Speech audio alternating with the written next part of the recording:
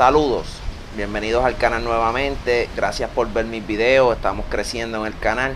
Aquí les voy a traer una cámara, mi nueva cámara, la Sony Alpha, una Sony Alpha 6000, que es una cámara sin espejo, una cámara que para todo aquel que esté pensando que tenga una cámara reflex, una DSLR, estas cámaras un poquito grandes y quieran pasar algo más compacto, les digo desde de antemano que no se van a arrepentir con una cámara como esta. Hoy en día el mundo de la fotografía todavía se resiente y se niega a dar el espacio de estas cámaras y los fotógrafos profesionales y muchos fotógrafos dan una opinión negativa de estas cámaras pues porque siguen con el modo tradicional. Pero yo y muchos de ustedes que están viendo que no son fotógrafos profesionales, que no necesitamos muchas cosas que tienen los fotógrafos profesionales para poder llevar nuestra fotografía a niveles pues que estamos acostumbrados. Esta cámara está hecha para una persona, un viajero, exploradores que le gusta estar así de paseo, explorando y quieren tener una cámara que no les pese, que no tenga que tener un equipaje demasiado de grande para poder tener una cámara. Mira, esta cámara tú te la pones aquí y no te va ni, ni, ni, ni, te das de cuenta que tienes la cámara y puedes seguir por ahí para abajo tu, tu día cuando te encuentres un momento que tengas que fotografiar, pues simple hecho, pap, y sacas la foto. Esta cámara cuenta con todos los modos, los modos necesarios para tú sacar una, una foto en manual, semiautomático, tiene los modos de escena este no voy a entrar en estos modos técnicos porque YouTube y todo el internet está lleno de todos los reviews habidos y por haber de estas cámaras, la Sony Alpha. Yo lo que te voy a dar aquí en este video es mi opinión. Yo tenía una cámara, una Nikon D3400, que es una de las mejores cámaras de iniciación, una cámara reflex muy completa, con conectividad Bluetooth, compacta dentro de todo. Aquí les voy a enseñar abajo un video de lo que es la D3400, una cámara que no tengo ninguna queja de ella, pero se me hacía un poco pesado estar cargando con ella y eh, en, la fotografía la mejor cámara es la cámara que tú puedes llevar contigo siempre. Y esta cámara con su... Ahora mismo él tiene el lente acoplado, un 16, 1650 y van a ver que el, lente se contrae de una manera que es parece una point and shot sí pero esta es una cámara de lentes intercambiables ¿entiendes? esta es una cámara de lentes intercambiables que en otro video les voy a mostrar eh, eh, los lentes que uno le puede acoplar pero de esta cámara lo único que uno puede decir son maravillas sí tiene sus cosas que pueden ser mejorables. Una de las cosas que yo creo que, se falló es que no se le incluye una entrada de micrófono externo. Sí, tiene una zapata multiinterfase que uno puede utilizar para acoplar ciertos tipos de micrófonos que son pues vendidos por Sony, que son micrófonos de más de 100 dólares. Y pues que no, si ya uno que mira, yo tengo mi micrófono aquí, y ya yo había hecho mi inversión en un micrófono y entonces tengo ahora que comprar otro micrófono para poder ponérselo a esta cámara. Esta cámara cuenta con micrófonos estéreo, pero al estar tan cerca del lente, este lente es motorizado. Y si tú estás sacando una toma ahora mismo como yo aquí, que yo la ponga en un trípode y ya yo haya ajustado el, el, campo de visión, la distancia y todo eso, y no tenga que mover el, el lente, pues no te va a afectar en el video para nada pero si tú estás grabando un video y estás ahora mismo apuntando y moviendo el lente, ese sonido del lo vamos a escuchar ya mismo y vamos a ver que, interfiere. Eso es en los videos, en las fotos ni se diga, pero es una cámara bastante completa, tiene una imagen, una calidad de imagen muy buena. La pantalla, como tal vez ustedes sepan, la cámara anterior a esta, la, la 5100, que en una de las cámaras que estaba en mi lista cuando yo quería comprar, esa cámara era touchscreen, la pantalla era touch y se le podía poner completamente para frente, se podía virar completamente. Esta cámara llega hasta ese ángulo. Claro, la 5100 no tiene, no cuenta con un visor Y entonces pues el visor es lo que hace que esta cámara no pueda tener la pantalla completamente que se voltee para arriba. Pero esta función es por si tú vas a tomar una foto que estés ahora mismo en una parte así de abajo o si estás por encima ahora mismo de, del público y quieres ahora mismo sacar una foto así por encima de las personas, pues puedes sacar una foto y te va a dar resultado. Otra de las cosas cuando nosotros estamos empezando en la fotografía es que queremos, queremos aprender de los modos manuales PSAM. Y entonces esta cámara tiene esos modos y resulta muy, muy útiles y son muy completos. Pero esta cámara, en mi opinión en particular, te quita las ganas de tú bregar con esos modos este, manuales.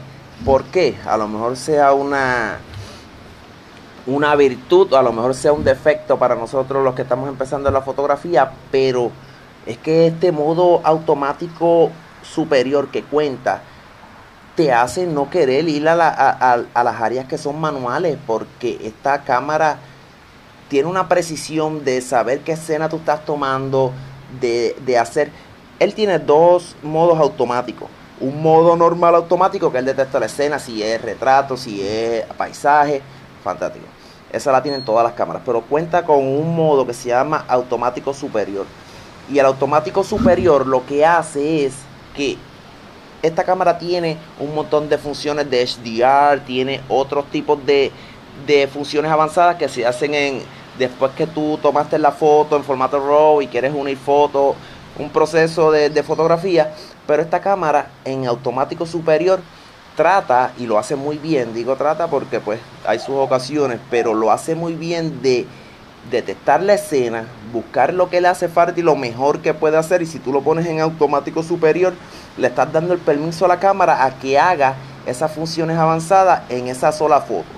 Ahora mismo si yo estoy aquí de contraluz y quiero sacar una foto, a lo mejor él va a tirar tres fotos a la vez o cuatro fotos, las va a unir con diferentes ISO, con diferentes tipos de, de, de exposiciones y entonces me va a dar una sola foto ya con todas esas este, características unidas y me va a dar una foto final ya sin tener que llevarla a procesar ni nada. Otra de las cosas que podemos ver en esta cámara que ahora mismo encuentro un fallo es que ella cuenta con una aplicación para el teléfono Android para, y para iPhone y la puedes usar ahora mismo de remoto. Yo la puedo poner ahora mismo con mi teléfono, puedo poner la cámara ahí al frente y puedo usarlo de, de visor, puedo este, bregar con los ajustes, puedo hacer todas esas funciones. Pero en la computadora, si yo quiero sacar una foto, si quiero sacar una foto en formato RAW, pues la computadora pues me deja ahora mismo yo este hundir el, el, el, botón desde la computadora, puedo tomar la foto, pero no me deja ver la foto como tal. Tengo que estar seguro de los ajustes que voy a hacer. Saco la foto, él mismo la transfiere a la computadora y entonces allá, ahí, después que tome la foto, entonces puedo ver entonces la foto en mi monitor de la computadora, pero no puedo usar el monitor de la computadora, ni Mac ni Windows, puedo utilizarlo como un monitor. Y eso le resta puntos si uno quisiera ahora mismo estar en un estudio y quiero, quiero este, editar las fotos en formato RAW y quiero este, sacarle más en la, en la, en la post edición. Pues entonces pues no me deja ver la toma bien cuando yo la quiero usar. Ahora, en, el teléfono sí me deja ver la foto, pero la foto que transfiere el teléfono en la aplicación Play Memories es en formato JPG. Y es bien poco lo que se puede editar. Y no transfiere el formato RAW, hay que sacar la tarjeta de memoria, conectar la, la, la cámara a la computadora para poder transferirla. Otra de las cosas que encuentro muy útil en esta cámara, que es muy bueno, es que todos estos botones que tiene aquí, todos sus botones son personalizable. Si ahora mismo él vino de fábrica con este botón que era para decirme consejo, pero a mí lo que me hace falta es usarlo para el zoom, pues yo me meto en los ajustes personalizados y pongo este botón para que sea del zoom. Puedo poner esto para, mira, yo tengo este botón que es para la exposición, yo lo tengo para que cambie de modo manual automático el enfoque. Esta cámara es bien, bien rápida cuando enfoca a 0.06 segundos, una de las más rápidas de, esta categoría.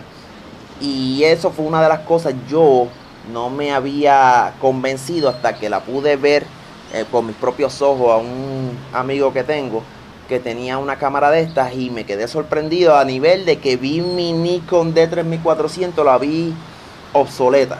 La vi que la, esta tecnología superaba y esta cámara no es nueva, esta cámara lleva un tiempito en el mercado. Y todavía esta cámara sigue dando de qué hablar. Es muy útil. El visor, una de las cosas que vas a ver que te va a quitar las ganas de a un fotógrafo aficionado como yo, que no quiere estar una hora detrás de su computadora editando una foto, con esos ajustes. Hay gente que le gusta, fantástico. Pero a mí, a menos que yo no sea, que yo vaya a un sitio, yo vea una foto que me llamó mucho la atención y yo digo, esta toma yo voy a llegar a mi casa y me voy a sentar en la computadora y vamos a trabajarla. A menos que no sea eso, la siempre la saco en JPG. Cuando tenía mi cámara reflex, la sacaba en JPG Marrow para pues, poder hacer. Pero esta cámara, cuando al ser el, visor electrónico, esto no es un visor como las reflex normales, que tú lo que ves es, esto es una pantallita que tiene aquí en el visor que te está enseñando lo que ve en tiempo real. Si eh, me explico, si ahora mismo yo quiero, estoy ahora mismo exponiendo y estoy viendo un atardecer y quiero sacar ahora mismo y cambiarle el ajuste de del de de blanco, pues tú le puedes cambiar la exposición, el balance de blanco y él te va a dar aquí mismito en el visor y en la pantalla. Te va a dar, tú lo estás ahora mismo ahí encuadrando y él te va a dar en tiempo real los cambios que se están haciendo según tú vayas moviendo los ajustes que tiene.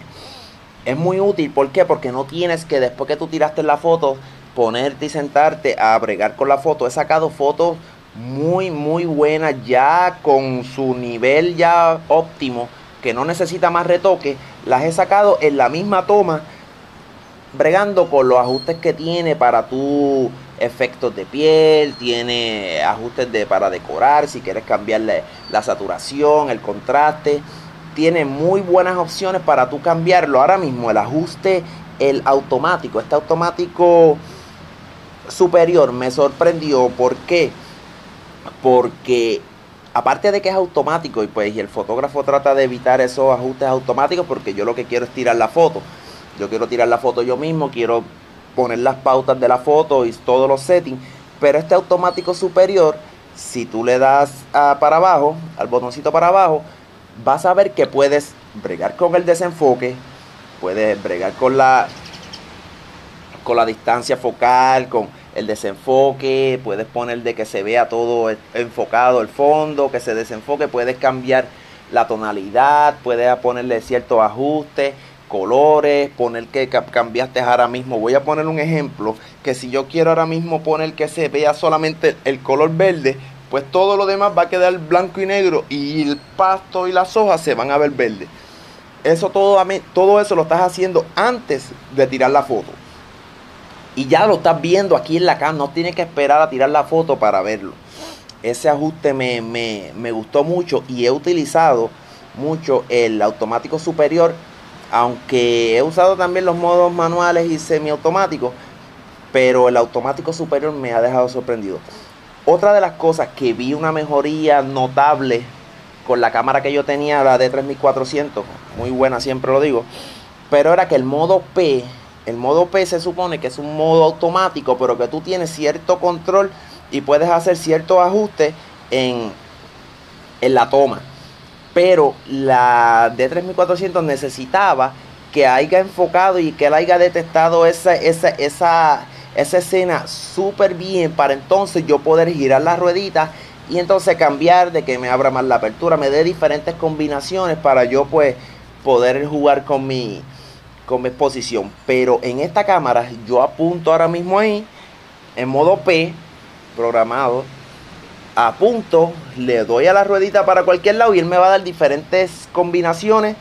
Siempre, nunca me ha fallado. Y eso lo encontré muy útil porque no se convierte en un modo automático más. Porque yo estoy decidiendo cuando yo quiero desenfocar, cuando yo quiero mayor profundidad de, de campo, cuando yo quiero menos profundidad y te deja bregar con muchos ajustes. El ISO llega hasta 25.600 esta cámara y yo lo puse en automático desde 100 a 6400 y he abierto las fotos en mi computadora tirando a 6400 de ISO, que a 6400 en la cámara que yo tenía en la reflex era una foto casi inservible. Y en esta cámara he tirado 6400 de ISO y ni me entero que fue a 6400 a menos que no le dé para ver los detalles de la foto y ver a cuánto estaba tirando. Sabes que esta cámara brega los niveles de ISO muy muy bien y los niveles de ruido son casi imperceptibles. El lente que trae es un 1650. Tiene menos menos alcance que un 1855, que es lo que trae casi siempre los kits de las cámaras reflex.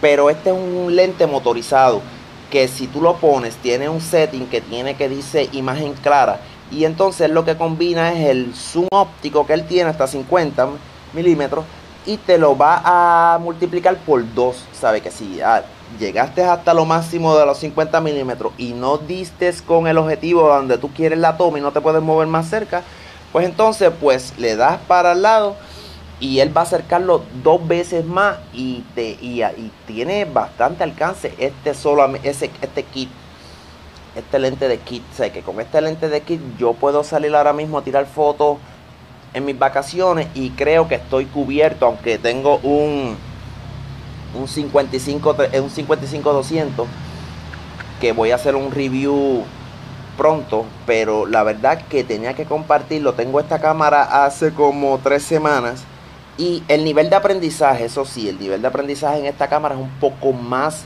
largo que en las reflex normales que yo tenía. Porque el menú de esta cámara es bien extenso. Cuenta también con un con una parte que es para como si fuera un market que tiene diferentes aplicaciones. Muchas de esas aplicaciones no tienen ni sentido que las estén vendiendo porque hacer un time lapse, hay aplicaciones que valen 29.99 por una función que otras cámaras la traen de fábrica.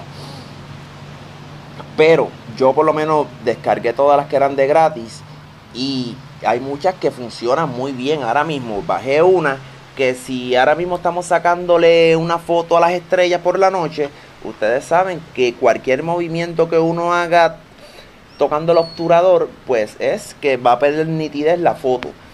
Y para eso se resuelve o comprando un control remoto, que aquí está el sensor de control remoto, o compras un sensor, un control remoto, o compras el cable que viene aquí para este, hacer el obturador remotamente con cable o la tercera opción es, hay cuatro opciones. La tercera opción es ponerle el timer de que tú hundas el botón cuando te despegue a los 3, 5 segundos, lo que tú le hayas ajustado, él tira la foto.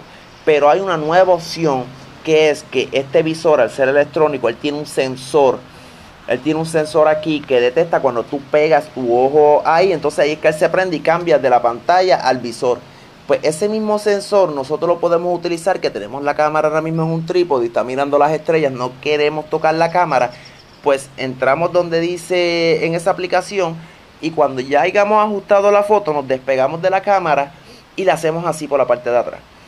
Y a la vez que tú la hagas así, él tira la foto. No tienes que tocarla porque solamente el sensor infrarrojo de aquí va a saber que tú le estás diciendo que tire la foto. Y es una función más que uno puede utilizar para tirar la foto sin tener que tocar la cámara. Otra función que tiene, que le encontré muy útil, porque aquí yo no te estoy dando un review de esta cámara, que ya hay hace tiempo, hay cientos de reviews de esta cámara. Yo te estoy dando los puntos fuertes, lo que he encontrado útil, y para que ustedes sepan si esta es la cámara que es ideal para ti.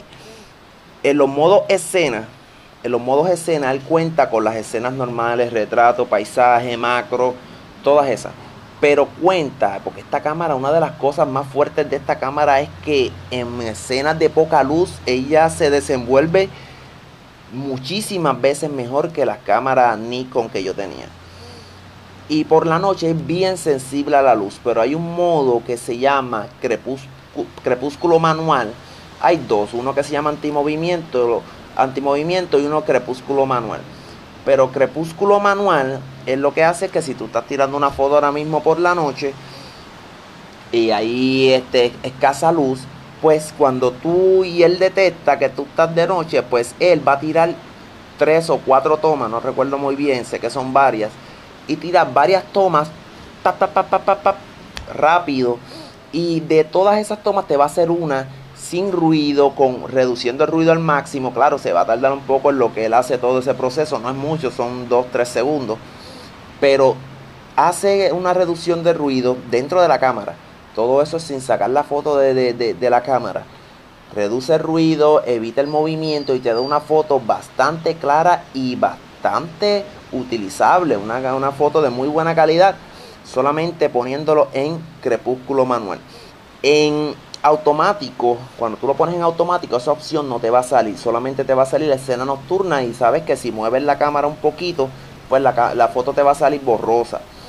Pero si lo pones en automático superior, en automático superior, él va a utilizar esas funciones extras que tiene, que son funciones avanzadas, que eh, si vas a utilizar algún modo automático, utiliza el automático superior para que él te dé esas opciones y las integre directamente a la toma que estás haciendo y no tengas que estar pasando ese otro trabajo y aproveche la tecnología que tiene esta cámara. Y entonces, si él detecta que es una, una escena nocturna, pues él mismo va a detectar que está en, en crepúsculo manual y te va a tirar una foto con las cuatro escenas diferentes y entonces te va a juntarlo y te va a hacer una sola foto muy clara y muy, muy de alta calidad. Otra opción que tiene esta cámara, esta cámara trae un flash, un pop-up flash es que le dicen, ves, él se activa, si tú, este, este flash no se activa solo, recuerda, se puede estar en automático como otras cámaras. La, la, la, cámara que yo tenía, pues si estaba en automático normal y tú le dabas y él detectaba que estaba de noche, él mismo activaba la foto y algunas veces te dañaba la foto porque tú no querías utilizar el flash tenías que apagar el flash desde acá, desde los menús o ciertos ajustes para apagarlo. Esta no. Esta, aunque esté en automático, en cualquier toma, él nunca va a activar este flash automáticamente. Sí te va a avisar en la pantalla que, pues, que necesitas flash, que está muy este, oscura la escena, pero tú necesitas hundir el botón y activarlo. Ya cuando tú lo activas, el flash pues tiene ciertas funciones, como todas las cámaras, cortina trasera, flash de relleno, todas esas funciones, pero tú le puedes ajustar la intensidad del flash y aunque tú lo veas así de pequeño, el flash te deja la escena iluminada totalmente. Y otro de los puntos fuertes que me hubiera encantado que él hubiera tenido otro tipo de ajuste de que se quedara así, pero tú si sabes que muchos fotógrafos utilizan para que sea una luz de relleno, pues siempre ponen el flash mirando para arriba. Pues tú puedes utilizarlo y con el dedo ponerlo para arriba así y al ponerlo para arriba, pues entonces puedes sacar la foto y él va a tirar el flash para arriba y va a hacer una sombra en tu sujeto que van a ser más agradables que le salga el flash de frente así de cantazo y lo deje ciego y lo ponga bien demasiado expuesto. La, aquí tiene otro botón que es un botón este, customizable. Aquí tú le puedes poner cualquier, son como 20 y pico, 30 opciones que tú le puedes poner. Pero aquí yo le tengo ahora mismo el modo de enfoque. Él tiene el modo de enfoque sencillo, modo de enfoque automático, modo de enfoque de seguimiento, que el modo de enfoque de seguimiento trabaja muy bien. Él detecta 179 puntos diferentes y si lo pones en modo ancho, él va a detectar toda, todo el frame de la escena, él lo va a detectar y va a seguir siguiendo tu, tu el enfoque en el sujeto que tú pusiste. También tiene una opción de uno hacer un lock en algo que tú quieres que él esté siguiendo y entonces él mientras le, el, sujeto o lo que tú estás tratando de fotografiar esté dentro del, del, del frame de, de, de, la escena pues él va, le hiciste el lock y él lo va a seguir por todo el ajustándolo aunque se eche para el frente, para atrás, para el lado, él lo va a seguir. Y es muy útil para, para ocasiones así cuando se está moviendo. En automático superior encontré los otros días una opción que no sale en ningún menú que es modo infante. Él detecta si es un, un infante, un bebé o algo así, y te pone modo infante y él toma las, las, tomas mucho más rápido porque sabe que los, los niños pues se mueven. Ahora mismo la cámara es muy muy cómoda de utilizar. Tú la coges y tiene una empuñadura que tú la puedes tener y te, eh, en verdad hicieron un muy buen trabajo con, con, con el diseño. Ahora mismo, si yo, otra de las funciones que tiene esta cámara cuenta con Wi-Fi y cuenta con NFC. Después que tú bajes la aplicación en el teléfono de, Play Memories, ahora mismo si tú sacas una foto, sacaste una foto y a ti te gusta y la quieres compartir a las redes sociales, la quieres compartir en Facebook o, o por donde sea, pues tú lo que tienes que hacer es con un teléfono compatible, obviamente que sea compatible con NFC, tú lo que tienes que hacer es solamente pegar el teléfono, tú lo pegas y él hace él mismo prende el wifi de aquí, wifi directo, prende el wifi directo de el teléfono y entonces hace un enlace y pasa la foto en un segundo o dos y ya la tienes ahí en el teléfono para compartirla. Una de las aplicaciones que tú puedes bajar de gratis es para retocar las fotos, pero uno de los de los de los handicaps que tiene es que tú solamente puedes retocar las fotos que sean en formato JPG. No te permite sacarle, editar y retocar una foto que esté en formato RAW. O sea, el formato RAW tienes que bajar el programa eh, de editar de Sony, que es gratis, lo puedes, eh, bastante fácil de usar, lo he utilizado y tiene las funciones necesarias para tú poder retocar tu imagen. Me hubiera encantado que como hace Nikon y otras diferentes marcas que tiene ya un procesador RAW dentro de la cámara y si tú sacas una foto RAW pues entonces puedes retocarle y cambiarle ciertos ajustes que algunas veces pues siempre hace falta que, ah, la quería sacar de este color, no, no me gustó esta toma y uno la puede retocar. Aquí solamente vas a poder retocar, pero son los archivos JPG. Otro de los ajustes que tiene, él hace panorámicas. Tú lo puedes poner aquí en panorámica y si sacas una foto panorámica le puedes decir si quieres que la panorámica sea para el lado, para el lado derecho, para el lado izquierdo, si quieres que la panorámica sea para arriba, para abajo y saca unas panorámicas que tú le y se lo hace como en modo video pasando así y hace unas panorámicas bien amplias y de muy buena calidad. Sensor de 24 megapíxeles y esta cámara graba en, en 1080p a 60 fotogramas por segundo, pero si tú quieres grabar la mejor calidad. Graba en AVC HD, ¿verdad? Así es que yo lo tengo ahora mismo. Pero si tú quieres grabar en el formato XAVC, XAVC necesita la cámara, no te va a dejar aplicar ese formato si no tienes una tarjeta de memoria que sea de 64 GB o superior. ¿Por qué? Porque los formatos en XAVC son mucho más pesados que cualquiera. Ahora mismo él te da MP4, que es lo más simple, AVCH, que es un, formato que es de muy buena calidad, y XAVC. Pero ese necesitas una tarjeta de 64 GB, categoría 10 o superior, para poder habilitar ese formato.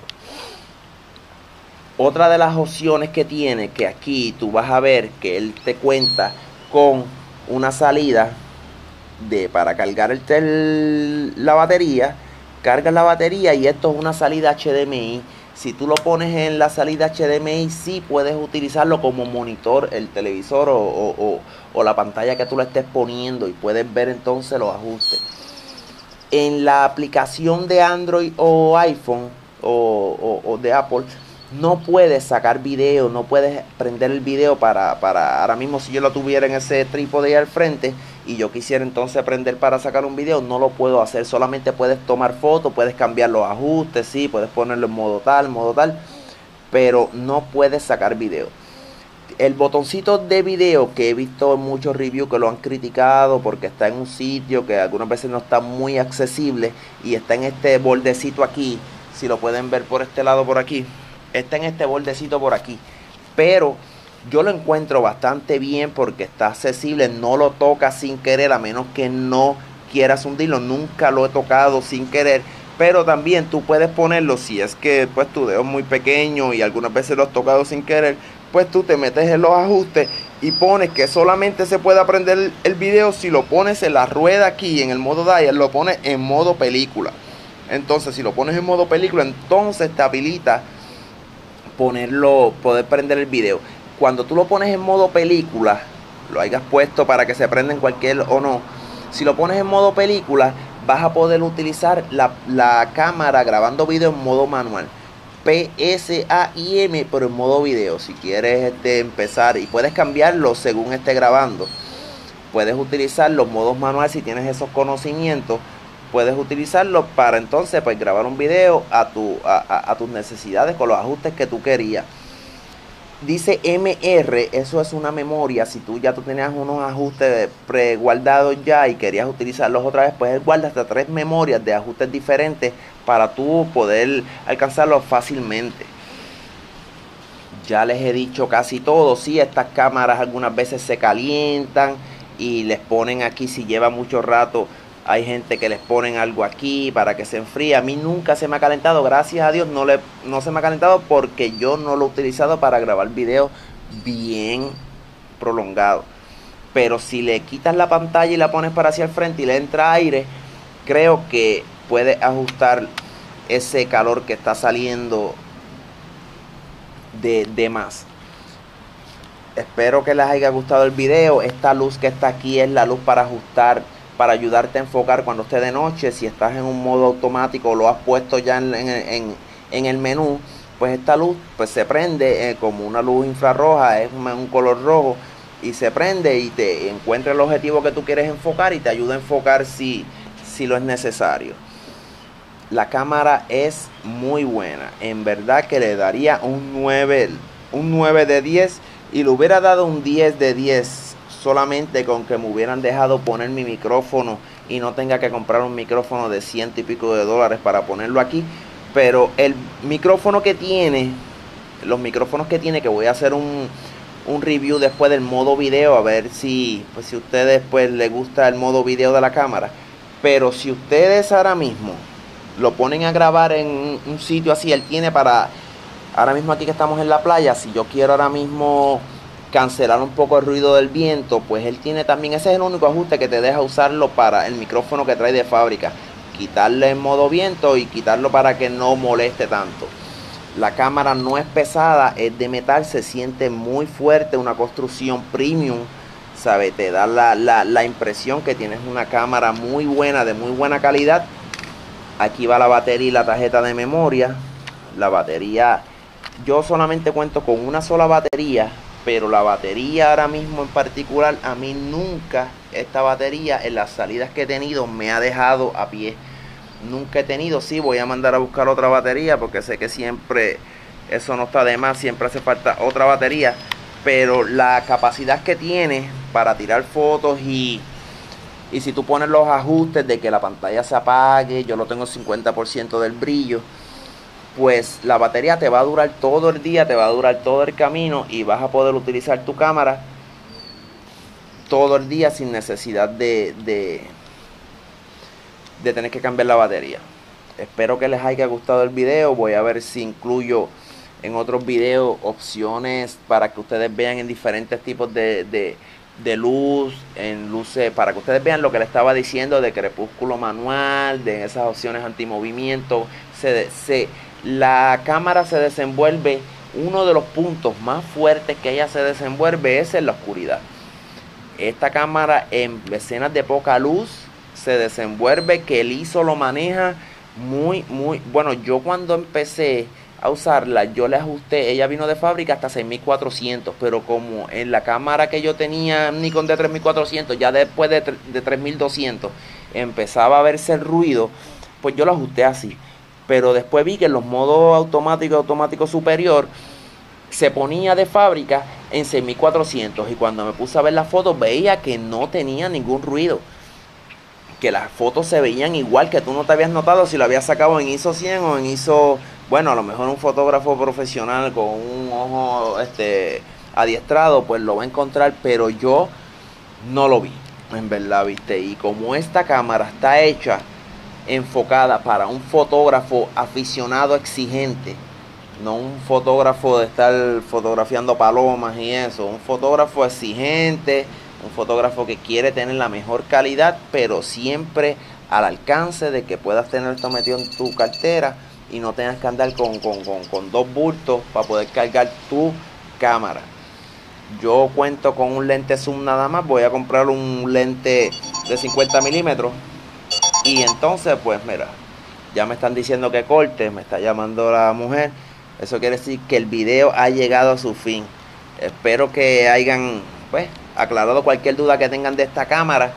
No les enzorré con mucho mucho tecnicismo, que si tiene 20 y pico de megapíxeles, que si tiene esto, porque eso ya ustedes lo tienen que haber visto. El que llegó a este video es porque ya vio que, que tenía esta cámara. Así que tú lo que estás buscando ahora mismo viendo mi video es una opinión. Y yo te estoy dando la opinión de un fotógrafo aficionado que está muy complacido con esta cámara. Suscríbete al canal. Voy a seguir haciendo videos de esta cámara. Voy a enseñar un par de truquitos que he aprendido. Y vamos a compartir y vamos a aprender a usar esta cámara y vamos a sacar el provecho y vamos a hacer fotos extremadamente brutales con esta cámara.